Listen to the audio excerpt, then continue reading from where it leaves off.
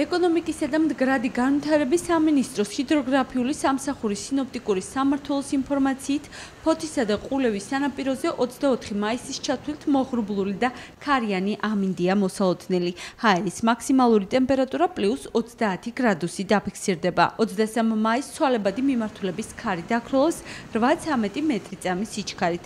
ასევე ცვალებადი მოღრუბლულობაა მოსალოდნელი უნალექოთ.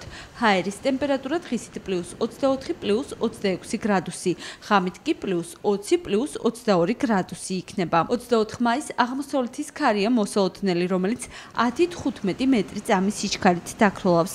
ცვალებადი მოღრუბლულობა უნალექოთ დაფიქსირდება. ჰაერის ტემპერატურა დღისით +28 +30 გრადუსი, ხოლო ღამით +23 +25 გრადუსი დაფიქსირდება.